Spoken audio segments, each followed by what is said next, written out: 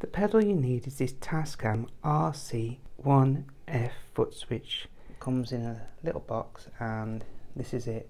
It's quite a small pedal to be fair, quite heavy though and it's got thick rubber on the top for the foot and on the bottom. Um, I find it works really really well.